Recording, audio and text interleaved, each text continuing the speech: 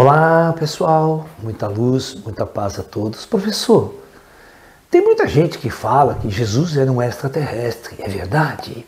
É verdade que Jesus era um extraterrestre? né?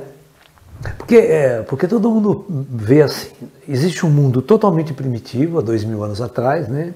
E de repente aparece um cara no meio deste mundo totalmente primitivo, com poderes incríveis, com uma visão incrível de mundo, de universo, de realidade, com poder de cura e uma série de outras coisas. Esse cara não é daqui. Quem é esse cara? Né? Então, dessa forma, nós imaginamos que o Jesus é um ser muito avançado, muito elevado, que encarna entre nós para cumprir uma missão. Se, vamos prestar atenção, vamos usar a inteligência. Se Jesus estivesse na primeira encarnação na Terra, porque ele era já um ser superior, né?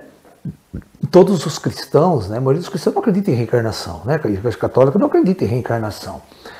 Então, pela própria análise da Igreja Católica, vamos pensar assim: Jesus, né? Não é comum que nem nós. Ele, se ele está na primeira encarnação, o espírito dele necessariamente veio de fora.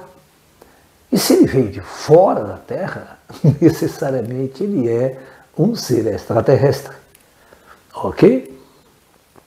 Então, nesta concepção, o ET é tudo aquilo que vem de fora da Terra. Mas aí, quando você começa a olhar a nossa natureza, todos nós também, todos nós, espiritualmente falando, chegamos aqui para encarnar pela primeira vez neste mundo. Nós não fomos gerados nesse mundo, nosso espírito não foi gerado neste mundo.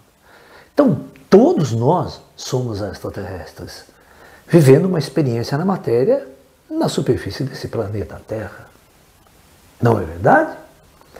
Então, por esse ponto de vista, nós começamos a raciocinar: quem somos nós?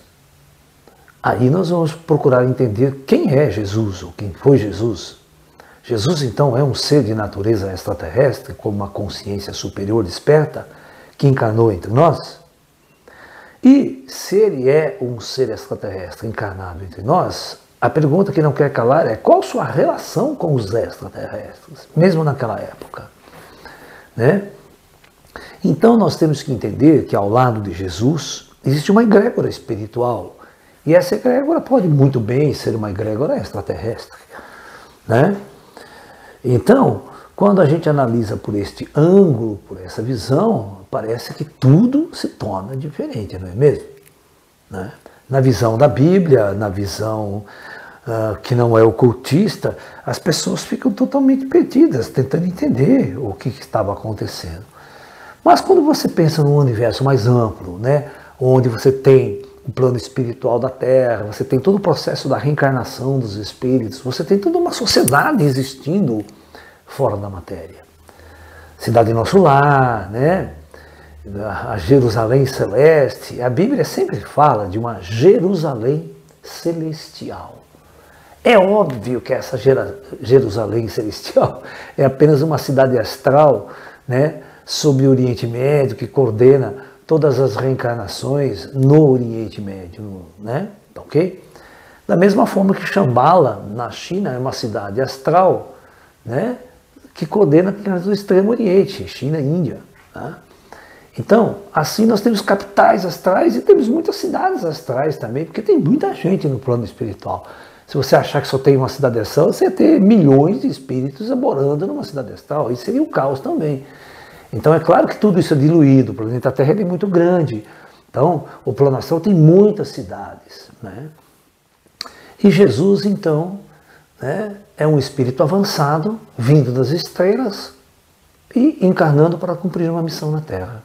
Ok? Então, sem dúvida, Jesus e os extraterrestres têm tudo a ver devido à própria natureza do conceito extraterrestre, ok?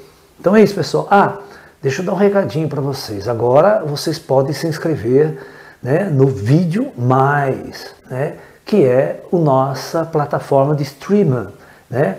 Então você vai ter acesso a todo o conteúdo de nossas palestras, a, como se fosse uma Netflix, né? A gente até brinca que é um Lanaflix, mas a gente não pode usar esse termo, tá? Então é vídeo mais a nossa plataforma de streaming que está à disposição de todos vocês. Façam a sua inscrição e tenha acesso a mais de 600 vídeos e semanalmente a gente está colocando cada vez mais material neste sistema para você assistir e conhecer o nosso trabalho e estudar a espiritualidade com profundidade, ok? Então é isso. Namastê.